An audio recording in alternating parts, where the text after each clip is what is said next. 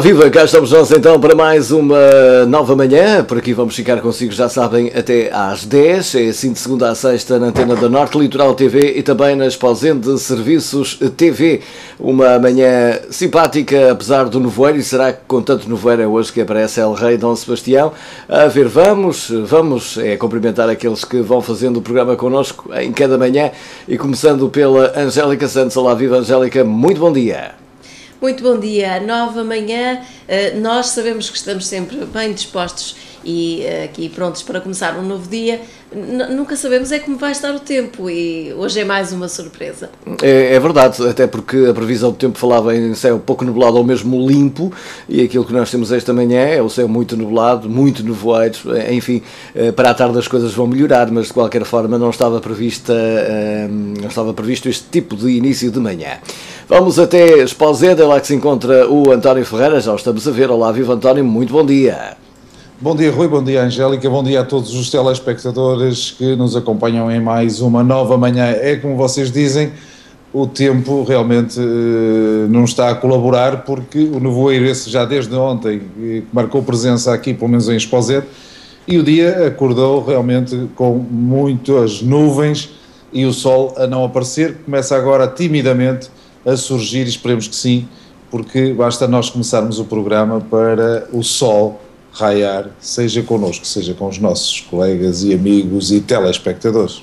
Ora está, e nós esperemos aqui então o sol fique a raiar por aí por muitos e muitos, uh, por muito e muito tempo, até porque estamos na primavera, vem aí o verão e queremos é sol, sol, sol, sol. Uh, e mesmo à noite era bom que estivesse sol, também era giro. Uh, e vamos só saber. falta isso. Só falta isso, só falta isso. Vamos saber as farmácias de serviço para o dia de hoje, tendo em conta que na Póvoa do Varzim hoje de serviço vai estar a farmácia a ver o mar. Angélica Santos, farmácia em para Vila de Conde. Vila de Conde é farmácia Vital. Em Esposende é farmácia Monteiro. E vamos também então saber agora da previsão do tempo para o dia de hoje, não sem antes olharmos lá para fora, para as imagens que chegam eh, da cidade da Póvoa de Varzim, como veem tudo muito cinzento, nevoeiros, eh, o nevoeiro que já não é tão denso como era há pouco, eh, e vamos ter também imagens de Esposende, nesta altura ainda não temos as imagens completamente de Esposende, mas elas vão, ora aí está, agora sim já temos as imagens que vão chegar de Esposende, com alguns espaços já de um céu a querer ficar azul e o nevoeiro a dissipar-se também, portanto estas são imagens em direto de Esposende. Eh, na Póvoa ainda tudo bem mais cinzento, como podem ver também aqui através das nossas imagens. Mas eh, vamos ainda ver que a previsão do tempo para hoje nos fala exatamente de um céu com muitas nuvens durante a manhã. Há pouco estávamos com 13 graus, mas neste momento vamos poder ver, já subimos para, estávamos com 9, já subimos para 13 graus, 18 é a máxima prevista para hoje, mais logo à noite 10 graus para hoje então o sol deverá brilhar, especialmente a partir da tarde, e vemos que essa é precisamente a previsão também do Instituto Nacional de Meteorologia. Eh, temos aqui tudo muito nublado durante a manhã, mas depois a partir do meio-dia, digamos assim, a partir do final da manhã, eh, vamos ter eh, o céu a ficar praticamente limpo, com algumas nuvens que vão teimando em ficar aqui na região norte do país, e então 16 graus máxima prevista para hoje, 18 graus, 10 de mínima para o dia de hoje. Altura também para uh, ficarmos com as primeiras capas de jornais, a primeira revista de imprensa que vamos então ter já a seguir, numa altura em que passam 12 minutos das 9 da manhã.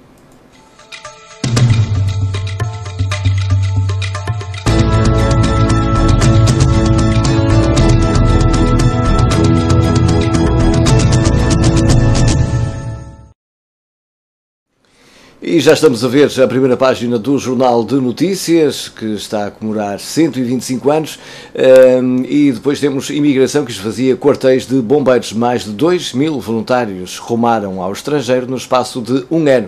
É precisamente uma das eh, questões de que ontem nos falava o António Ferreira a propósito dos 122 anos dos bombeiros de Esposente. Aqui então, precisamente esse assunto trazido à primeira página do Jornal de Notícias, a imigração razão que leva então os bombeiros a emigrar e a esvaziar os quartéis. Uh, depois São João salva 190 mulheres de limpeza. Profissionais do hospital recolhem alimentos para ajudar funcionários. Uh, temos uh, agora vamos passar para o diário de notícias. Uh, PS diz que a reunião pedida por Passos é golpe de teatro. Eh, ainda outro grande destaque para protestos contra Maduro fazem sete mortes. Isto a propósito das eleições na Venezuela. Obama já fala em ato terrorista em Boston. É também outro dos títulos de primeira página no diário de notícias. Passando para o jornal. O público, eh, renegociação com a Troika condena diálogo entre eh, Passos e Seguro, é o grande título lá em cima, mas o destaque de primeira página vai para esta fotografia. Bombas que explodiram em Boston, feitas de rolamentos e panelas de pressão. A América, em estado de alerta, investiga a autoria do atentado. Para o ano, volto à maratona. Eles não podem vencer, dizia em Boston um participante. Então, esta é a primeira página do jornal O Público. Passando para o jornal I, hoje muito azul, ora aí está, o mundo delirante das previsões iniciais da Troika. E depois há ali uma comparação.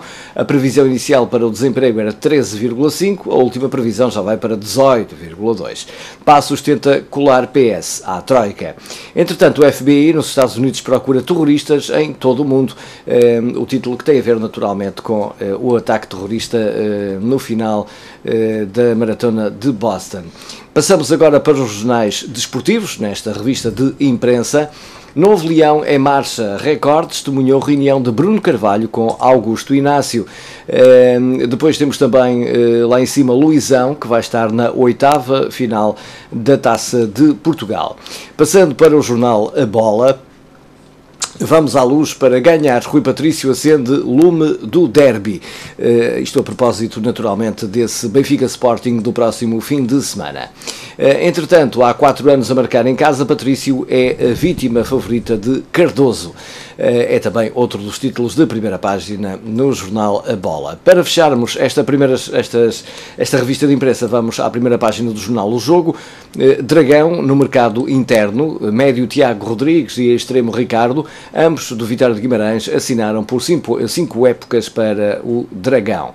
Um, e temos ainda como Frankie tentou parar Oscar Cardoso, isto a propósito da primeira volta entre uh, o Sporting e o Benfica, em que Cardoso bateu também.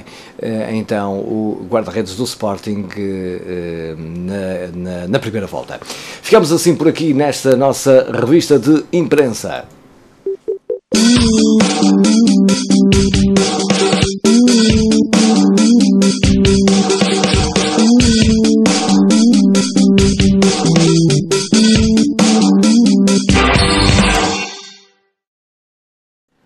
Antes de passarmos para as notícias, eh, vamos ter ainda tempo também de fazer visita a uma cidade do mundo. Hoje vamos até ao Brasil, até São Paulo, no Brasil, a Avenida Paulista. Imagens que nos chegam em direto, eh, nesta altura, 5 horas da manhã e 16 minutos em São Paulo. Ainda é de noite, mas muito trânsito neste início de manhã, 5 horas e 17 minutos, então, na Avenida Paulista. Imagens em direto de São Paulo. A temperatura é de 16 graus, creio eu, mas vou confirmar daqui a pouco. Mas há pouco estávamos com a temperatura de 16 graus em São Paulo às 5 da manhã. Uh, imagens então em direto, semáforo está ali vermelho, uh, os carros parados e pronto, é mesmo assim, em todo lado é assim. Uh, um peão que. Um peão não, um, um, um miúdo andar de skate uh, também por ali, uh, entrou na Avenida Paulista uh, através da passadeira. Muito bem, imagens então que nos chegam em direto de São Paulo, no Brasil. Nós vamos em frente com o nosso programa. Entretanto, agora ficou verde os carros vão arrancar. Nós ficamos também com o verde por cá para arrancarmos para as notícias.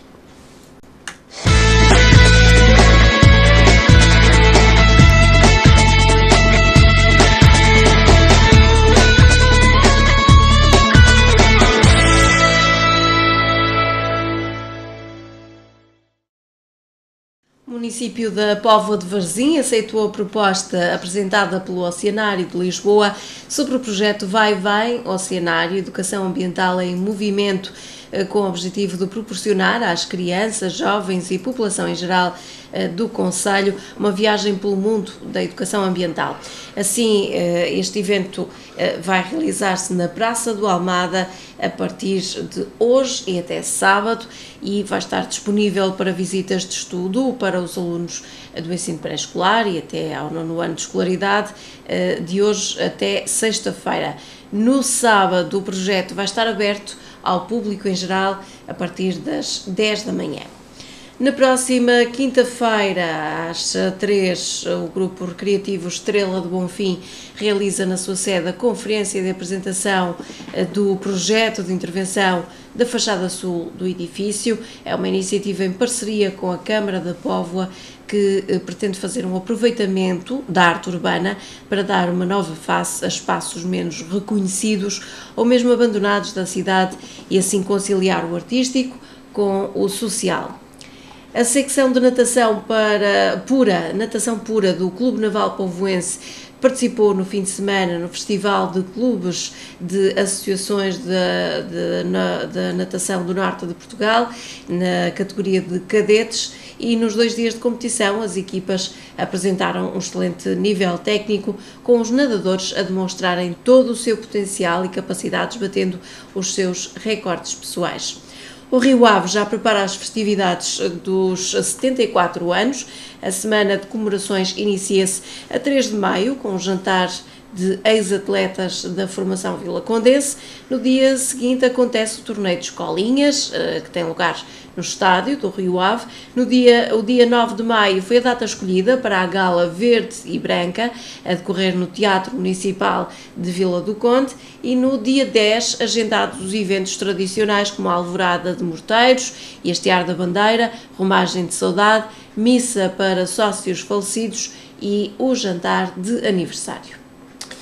Muito obrigado, Angélica Santos, assim com as notícias que chegaram da Pova de Varzim e também de Vila do Conte. A altura agora para virarmos a página, vamos até Esposente. O António Ferreira vai nos trazer as notícias uh, desta zona do Minho. Olá, viva António, bom dia.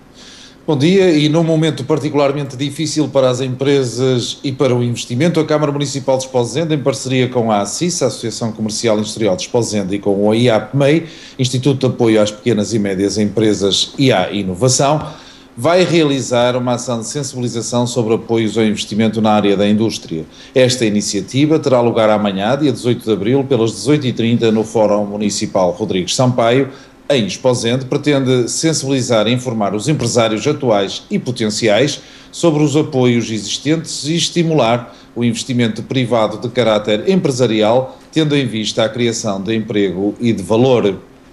A edição 2013 dos Jogos Desportivos Escolares do município de Esposende mobilizou cerca de meio milhar de alunos do segundo e terceiro ciclos e ensino secundário, contribuindo para fomentar a prática desportiva entre as crianças e os jovens do Conselho.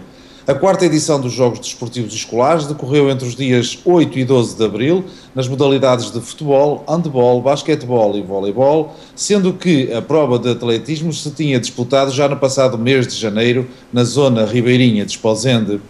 À margem da competição decorreu no dia 10 de abril uma experiência na modalidade de canoagem para os alunos inscritos de cada estabelecimento de ensino, com o intuito de valorizar e potenciar a prática de uma modalidade que é estratégica no nosso Conselho. Assim, esta ação foi levada a cabo com a colaboração do Grupo eh, Desportivo e Recreativo de Gemeses. E de notícias de Esposenda é tudo.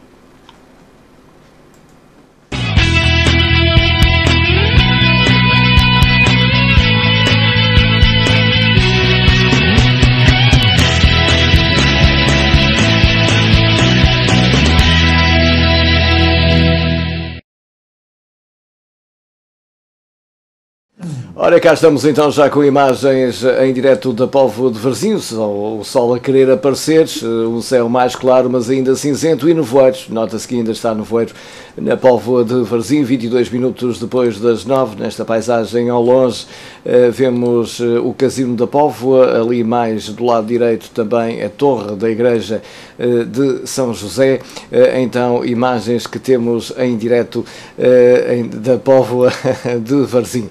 Agora vamos para Esposente, imagens que nos chegam em direto de Esposente, com o céu muito, muito azul também, embora ainda com algumas nuvens, mas o nevoeiro também a dissipar-se e nota-se ali naquelas casas que então já temos o sol a querer brilhar muito timidamente. Pois vamos em frente no nosso programa eh, e agora para ficarmos uh, também uh, com, com o quê? Ah, com os nossos aniversariantes, daqui a pouco. não sem antes lembrarmos, porque é sempre bom lembrarmos as farmácias de serviço para o dia de hoje. e então vamos lá ter em conta que na Póvoa do Varzim temos de serviço a farmácia A Ver o Mar. Em Vila de Conde está de serviço a farmácia Vital em Esposenda, Farmácia Monteiro. Muito bem, deixem-me só dizer-vos que eh, apenas relembrar alguns dos factos que marcaram a história neste dia. Em 1521, Martinho Lutero era eh, excomungado, esta é uma das coisas que a gente aprende na escola. Eh, em 1961, dava-se a invasão mal sucedida por parte dos Estados Unidos a Cuba e à Baía dos Porcos. Eh, em 1970, não sei se o António se lembra disto, eu lembro-me ainda, eh, a Apolo 13 teve problemas no espaço, houve que salvar os astronautas e neste dia, em 1961, eh, aliás em 1970, assim é que é, eh, a Apollo 13 regressava com os astronautas eh, à Terra, numa transmissão na altura direta, com, com muito drama à mistura, porque afinal de contas foram ali 3, 4 dias em que houve uma explosão na, na nave espacial no espaço, houve o salvamento dos astronautas no, no espaço e o regresso à Terra, não se sabia como é que ia acontecer, mas correu tudo bem. Foi em 1970, neste dia. Uh, quem é que hoje faz anos? Também é do tempo do, do, do António, Fórmula 1 dos anos 70. Ricardo Patrese, quem é que não se lembra do Ricardo Patrese? Faz hoje 59 anos. Uh, e também a cantora Victoria Beckham, uh, essa aí é, é mais da atualidade faz hoje 39 anos. Mas uh, ali o, o, António dizia que sim com a cabeça do, do, da Fórmula 1 dos anos 70 realmente fica na história, não é? A gente seguia aquilo tudo era o Nicky Lauda, era, era o, o Ronnie Peterson, era o Clay Regazzoni, era um, o Jacques Lafitte, aqueles, o James Hunt, um, eh, tantos e tantos uh, pilotos uh, dos anos 70, Jody Scheckter, que, que pelo menos a mim ficaram-me na memória. Depois dos anos 80 e 90 e agora, infelizmente, uh, a Fórmula 1 a transitar para os canais pagos de desporto que existem em Portugal e deixamos de ter assim o acesso mais livre por parte do grande público à Fórmula 1, o que é uma pena, digo eu, que é uma pena. Não sei se queres comentar isso. Não, também acho que é uma pena, mas eh, apesar que, sou franco, gosto de ver a Fórmula 1, não sou, eh, não sou aficionado, hum. entre aspas, de, da Fórmula 1. Em relação àquilo que eu conheço, eu, eu lembro de alguns amigos meus que eh, sentavam-se no sofá com a comidinha ao lado e tudo, tudo preparado para não perder um segundo que fosse da transmissão. Uh, mas eu era é daqueles que há uma... É um espetáculo único. Eu era daqueles que à uma da tarde estava coladinho à televisão para ver todas as semanas o arranque do Grande Prémio, pelo menos a partida. E depois, quando havia aqueles, uh, aqueles duelos entre o Alan Prost e sei lá, e o Ayrton Senna e o Schumacher e essas coisas todas, era realmente muito interessante. E, e depois tive a ocasião de ver grandes corridas de grandes nomes como o Jacques Villeneuve, como uh, aqueles de que falei há pouco, o Niki Lauda, que é sem dúvida, quando ele regressa uh, nos anos 90, foi um, um, regresso fantástico do Niki Lauda, depois de ter sido rei também nos anos 70, foi, foi muito interessante, realmente, Fórmula 1 eu acho que é interessante. Atualmente, olha, nem sei quem são, quem deixam de ser, não faço a mínima ideia. Pronto. É porque as ofertas são de tal ordem, Rui, não estou a falar no teu caso ou até no meu, mas as ofertas são de tal ordem que as pessoas eh, divergem e como tal já não há, antigamente não, havia duas havia ou três, um canal, não é? Havia um canal. Duas ou três situações que eram, eh, que eram transmitidas em direto, são mesmo muito importantes aquelas que eram transmitidas em direto, porque ficava muito caro a transmissão, não havia a tecnologia que há hoje e por isso mesmo nós éramos obrigados a, a comprar, entre aspas, aquilo que nos vendiam, não é? Exatamente. E havendo... Se, se, me permite, eu também acho que talvez o, essa, essa afição de, pela Fórmula 1 aqui em Portugal terá arrefecido um pouco desde que deixou de haver as provas no Autódromo do Estoril, não é? Sim, também. Uh, partir, eu eu, eu lembro-me quando havia no Estoril também, via um bocadinho na televisão, embora não, não, não fosse uma seguidora uh, tão assídua, mas, mas gostava de ver uh, algumas das provas que vinham aqueles nomes mais sonantes, como a Ayrton Senna, lembro-me também do Nicky Lauda, mas, mas Nelson acho que a partir Piquet, do momento já em para falar que, de outro... em que Isto também o acontece, por exemplo, deixou... com, com o Rally de Portugal, que este ano, eh, este ano, aliás, acho que já foi o ano passado que voo regressou ao nosso país, mas quando era aqui no Norte, eu digo-te uma Pois, coisa, mas era, parece que- era uma parece- festa, não é, sei se é. chegasse a ir a algum sítio. Sim, sim, Norte sim. Então, não- então, então não. Então eu nós cheguei a tínhamos... ir a um, fiquei a meio do percurso e vim para trás. Ah, não, isso mas nós aqui- nós aqui tínhamos Já um- tinha andado para aí 2 km a pé, eu assim, não, isso não é Ah. para mim. Nós aqui E tínhamos o Rally de Portugal. Nós aqui tínhamos o Rally de Portugal que vinha mesmo até à Póvoa e havia uma das etapas sim, que era sim, sim. o Póvoa Póvoa, em que eles depois iam para Faf e mais não sei o quê.